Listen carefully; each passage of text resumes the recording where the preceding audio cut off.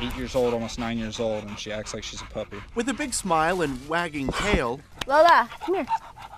She's excited. Lola looks happier than ever. But her owners tell me she's still in a lot of pain.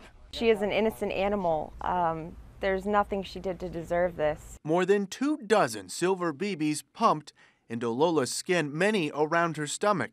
The vet removed 15 last night, but say several are still underneath the surface. And she has a BB right in her head, so I'm pretty sure that was at close range. Yesterday, Noel Perez came home from work to find Lola on her back, trying to relieve some of the pain.